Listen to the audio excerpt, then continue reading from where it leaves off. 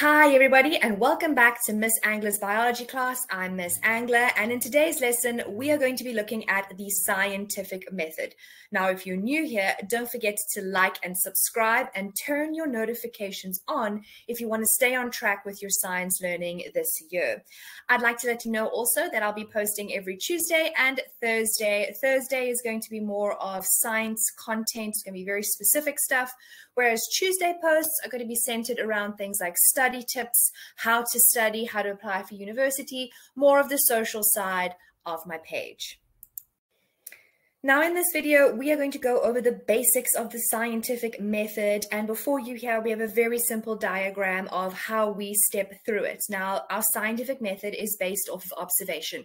We see something in nature and we want to figure out how it works. So we ask ourselves a question. Why is this happening? When does it happen? And now, in order for us to test that question, we have to come up with a hypothesis. We have to think maybe what is going to happen. We create an experiment, we analyze the results that come from that experiment, and we write a conclusion. Now, the scientific method is really important for all of your um, studying in science, particularly in the high school level and then on into tertiary education. And I'm going to break it down to you in the easiest way so that you can always remember it in class, but also most importantly in those exams. So let's get into it. So let's look at the first component of our scientific method, the aim. Now, throughout this video, I'm going to use this example that we have on the page now, and I'll read through it shortly. And I'm using it because it's going to make it nice and easy for us to apply what we're learning in an example that you may see in an activity in class or in an exam. So let's break down what an aim is and how we write one. So First things first, what is an aim? The aim is the purpose or the reason for why we are conducting the experiment. We asked a question, now we need to give purpose to what we are looking for. Now, when we're writing an aim, we need to make sure that our aim is concise, which means it must be short and sweet. And most importantly, it must be without a predicted result. In other words, you're not saying what's going to happen. You're simply talking about the purpose of the experiment. And we'll look at the example on the right-hand side soon. Another thing that's very important for an aim so that you get all your marks is that it should contain an independent and a dependent variable. Now, if you're not sure what these are just yet, it is in the next portion of the video and I'm going to outline what they are. Most importantly as well, your aim must be a statement, not a question. It is not a question. Remember, we created our scientific question at the beginning of this. We are now creating an experiment to answer that question. So our aim mustn't start with words like what and where and when. Instead, we should start our um, aim with to test, to determine, to measure. And there are many other words that you can use to show that it is an aim. Now, let's look alongside on the right here at the example I've provided us. And we can actually take the aim out of this paragraph. And it's really easy to see once you know what you have to look for. And many times you have to do this in tests and exams. So it says an experiment was performed in a laboratory to investigate the effect of the concentration of sucrose, which is a sugar, on the rate of cellular respiration in the yeast cells. Now, before I even read any further, I can see the aim is already provided to us because I've looked out for the key words that we start aim with, and that is things like to investigate. To investigate is one of our key aim starters. And what that means is, is that the rest of this statement is our aim. So what is the aim for this investigation? It is the effect of concentration of sucrose on the rate of cellular respiration in yeast cells. So that entire blue underlined section is our aim. And I'm going to show you in the next slide that we can select the independent and the dependent variables from this statement already. And it's so nice because it's already provided to us. We don't have to come up with one on our own. Now that we've looked at the aim, we need to focus in on the independent and dependent variables. And a lot of people struggle to identify these particular variables. So let's look at what they are first, and then let's find them in the paragraph that we've been given. So, what are the variables when we speak about them? Essentially, they are the cause and the effect. And the independent variable is our cause, and our dependent variable is the effect. Now, when we speak about the independent variable, we are speaking about the variable, the thing that you have chosen to test or measure, and it's going to affect the outcome of the experiment. The dependent variable, on the other hand, is what we are measuring and it has an unknown outcome. In other words, we don't know what's going to happen just yet. We need to see. So the dependent variable is unpredictable. A nice way that I like to use for my own students so that they can remember how one affects the other is that the dependent variable depends, that's where it gets its name from, it depends on the independent variable. In other words, whatever we are choosing to test, the independent variable, will produce some kind of outcome. And that outcome we can't predict, and it's dependent on the independent variable. Now, we're looking at our paragraph in front of us, and we need to select the independent and dependent variables. Now, I want to remind you the aim, which started at to investigate the effect of the concentration of sucrose and the rate of cellular respiration in yeast cells. So now that is the aim. This aim is very well written, and that is because it starts correctly, and secondly, it contains the variables we need. So let me highlight the two variables, and I'll show you how I did that. So it says to investigate, and then it says the effect of concentration of sucrose on the rate of cellular respiration. This part here, where it says the effect of the concentration of sucrose is going to be our independent variable. Why and how do I know that it's the independent variable? Because it's the thing that we are testing, right? It says to investigate, to test. We are testing the concentration of sucrose, of a sugar. That's the independent variable. On the other hand, we also need the dependent variable, the thing that we are measuring. And that goes on to the next part of the sentence where it says the rate of cellular respiration in yeast cells. That is our dependent variable. Now, how do I know that? Well, the rate of cellular respiration depends on how much sugar you give those yeast cells. Do you see what I did there? That's why I starred that little sentence at the bottom of the of the slide.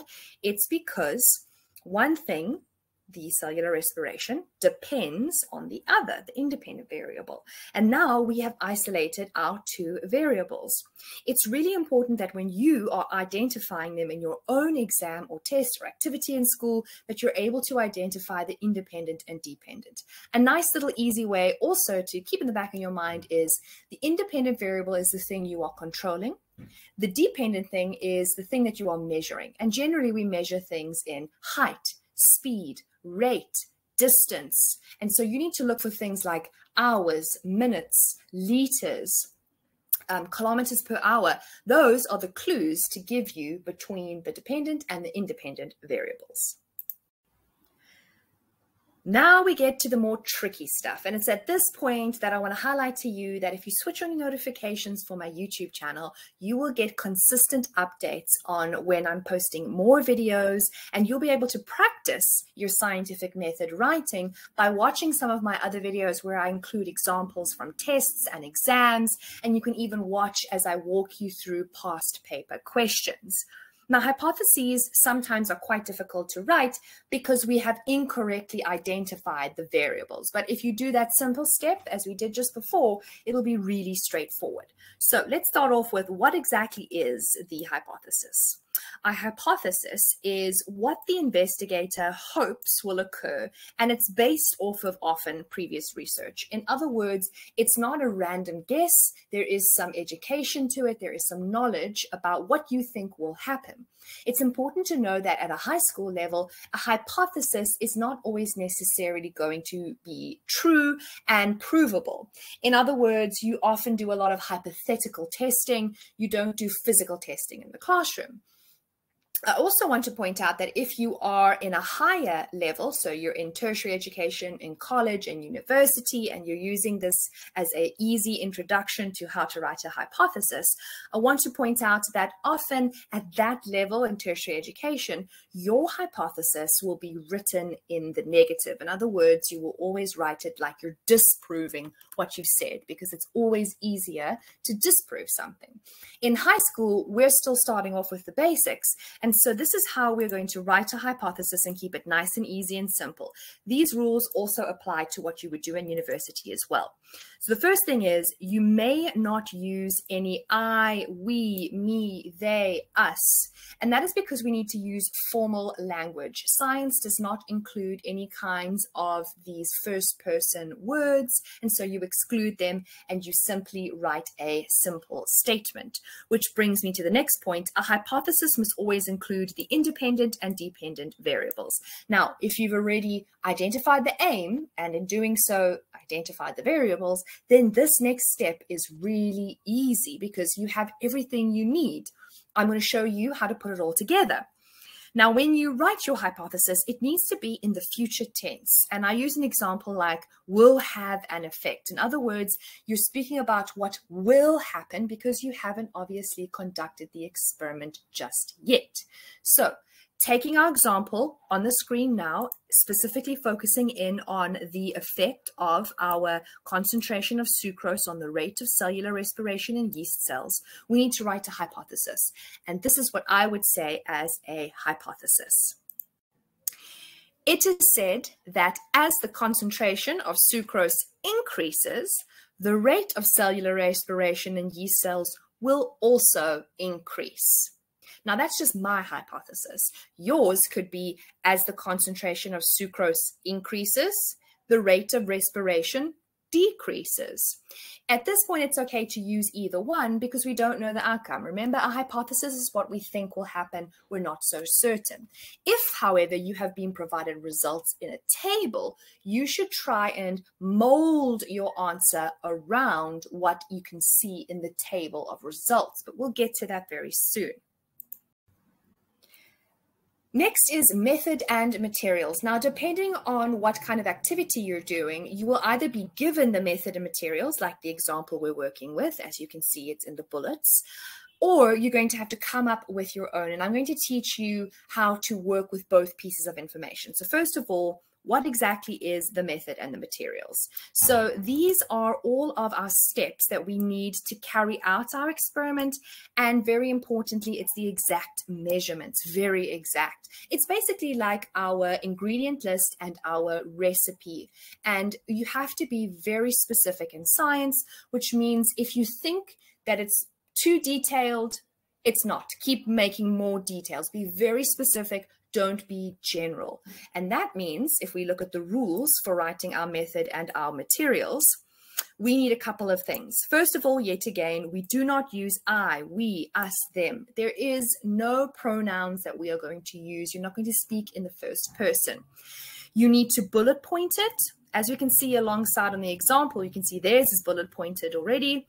You must use exact measurements. And so, in other words, you can't just say, I use some water. I need to know exactly how much 100 mils of water, 250 mils of water. And you need to be very detailed. What kind of water? Is it salt water? Is it fresh water? Is the water at a particular temperature? Is it cold? Is it hot? And even cold and hot is not detailed enough. Giving specifics is the most important part when writing down the method. Now, alongside here, we can isolate some of the key things within the method. They've told us, for example, here that we need four test tubes, each with a different concentration of sucrose. They've told us that in test tube A, there was 100 mils of water, C being very specific, with no sucrose added. Test tube B with 0.5 grams of sucrose, still the same amount of 100 mils of water. And test tube C has one gram in also 100, and then D 1.5 in 100. So you see what they've done here is they've told you every test tube has 100 mils of water and the concentration is different in each, and this is how much it is in each.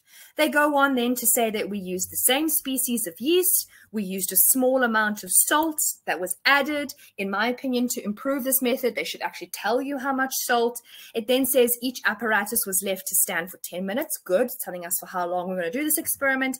And lastly, it tells us what we are going to be measuring, which in this case is the volume of gas produced by the yeast. Because remember, um, if you are respiring, and for those of you who don't know this just yet, when you respire, you create gas. So humans create carbon dioxide when we respire. So we're going to measure some kind of gas. And that is how we create the method and materials. And you can use these rules to create your own.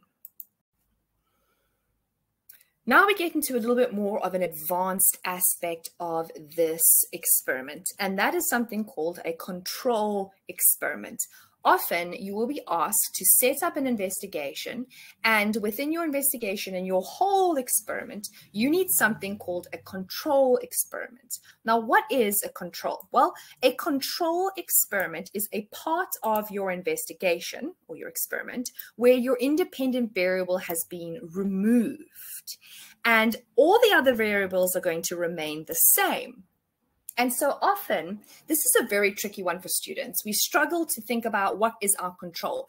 The easiest thing for me to uh, give you in terms of advice would be this. If you have an experiment and you have to take away the main player of that experiment, the thing or the substance that is doing the work, you often find that that is a control experiment. And we'll use this example alongside because it does have the control already in it. And I'm going to point it out to you. Now, if you are creating your own control and you don't uh, are not given one like we are here, and I'm going to show you where it is in the example alongside, you are going to create a control in the following ways. Number one, as I said, you're going to remove the independent variable. Step two, often that means that whatever you're going to be using is missing the substance, the being, or the test subject is missing. Now, let's apply this to the control experiment alongside. Now, if you look very carefully, you can actually find the very, very first um, test tube is our control experiment. And I know this for one very simple reason. It contains no sucrose. So we just underline that and make a clear point of that. And if we go back to the original statement at the beginning, we knew that the concentration of sucrose was what? The independent variable. So if we take the independent variable out, which is sucrose, we are just left with a water experiment, which is perfect because we want to see will the yeast still do something even if there's no sugar there. So that test tube A is our control experiment. It is missing the independent variable, and that is how we would identify it. Now we get into validity and reliability. Sometimes one of the trickiest components of an experiment because we're not really sure which one is which, we can't tell the difference, and often it's the most requested thing that my own students want to know. Now let's break down what is validity first. So validity is speaking about how accurate your results are. And when we speak about accuracy, we're talking about did you keep everything the same all the way through your experiment. In other words, are all the variables constant? So if we look at our example on the right-hand side, we know that we used 100 mils in all of our test tubes of water. We used the same species of yeast, and we allowed all of our test tubes to stand for 10 minutes for the same amount of time. So all of these things that we kept constant and we kept the same are the validity aspects. There are our fixed variables, which is often a word that you may encounter in class as well, a fixed variable. And so we had the same amount of water, the same species, the same amount of time. And so keep that word the same in your mind when you're trying to think of uh, validity. Another way to remember what validity is, is that validity are variables like the letter V. So variables and validity. The next important aspect of our experiment is whether or not it is reliable. And so that's where reliability comes in. Now, reliability means how consistent are your results? This means if someone were to redo that experiment or your experiment, would they get the same results? Are your results reliable? And to prove that your results are reliable, there's a couple of things you can do. The first thing you must do to create reliability is to repeat the experiment as much as possible. And that means doing the whole experiment over and over again, not just one aspect of it. Another thing you can do is you can increase the sample size. So instead of using 10 people, you'll use 100 people. And lastly, you can calculate an average, meaning that you can take all the results because you've done your experiment over and over again. You've got many answers. You take them together and you calculate an average. And averages often give you the best result because it's closest to what you expect will happen. Now, in this example on the right-hand side, they haven't done any reliability just yet before you think they have. They haven't repeated the experiment just yet. Okay. Yes, they've used different test tubes, but that's not repeating the experiment, and they haven't increased the sample size. The best way to do it for this example, if I was writing down an answer like how to increase the reliability of this experiment, I would have said things like redo the experiment, increase the amount of test tubes being used, or calculate an average of all of the answers or results received from each of the test tubes. It's important, and this is a very key step here, everybody. You cannot change any variables if you want to keep reliability. In other words, you can't change the amount of water. You can't say use more test tubes with more sugar solutions. No, that's changing the experiment. You have to take what you have and repeat it. You mustn't add more yeast. You mustn't take away water. You mustn't add more sugar. The moment you add and subtract things, you are changing the experiment. So you've conducted your experiment and now you have a set of results. And this results table has all of our results in it. It has our time running along down the side here which shows us how long the progression of this experiment went on for, for the full 10 minutes. It tells us the volume of gas produced by our yeast cells going along the top here, and that is measured in milliliters.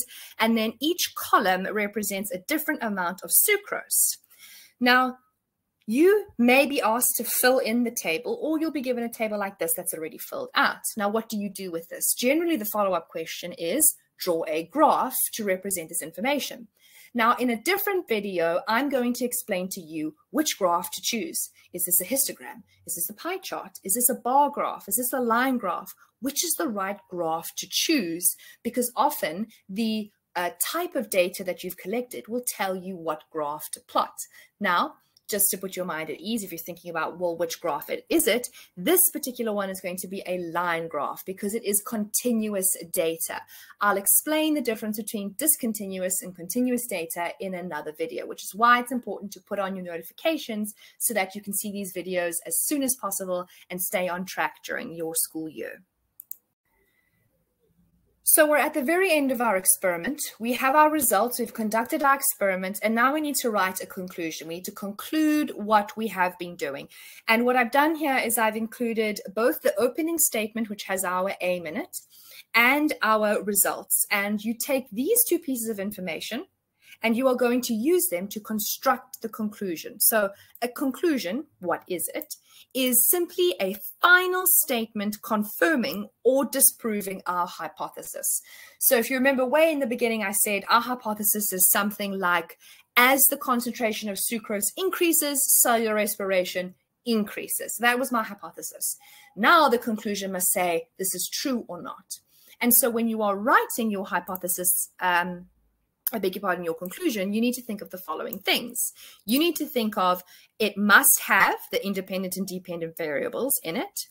It must either support or disprove my hypothesis. And it may not contain any results. I don't want to see any numbers. You're either going to say, yes, as the increase in sucrose goes up, so does the respiration rate. Or no, as sucrose increases, the respiration rate decreases. So we're not going to use numbers. You should never be talking about results in a conclusion. That is saved for something very different, which we haven't done in this video, and we're not going to in the scientific method in the basics. Lastly, it's important to remember that the conclusion is a statement. Just like the aim, it is not a question, it is a statement. So there's no um, when, where, how.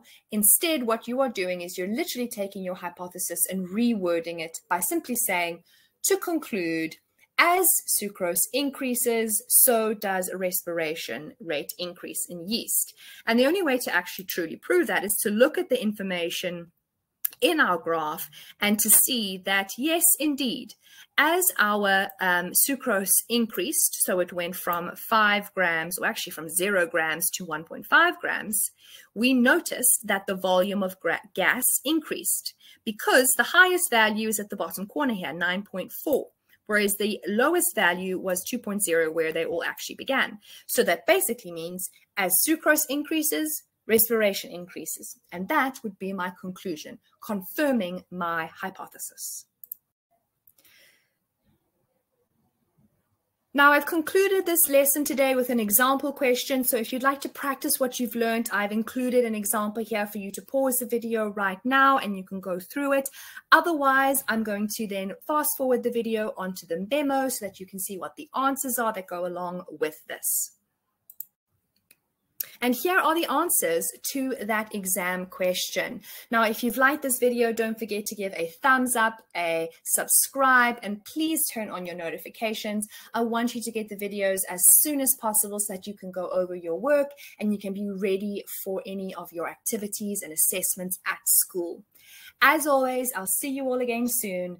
Bye.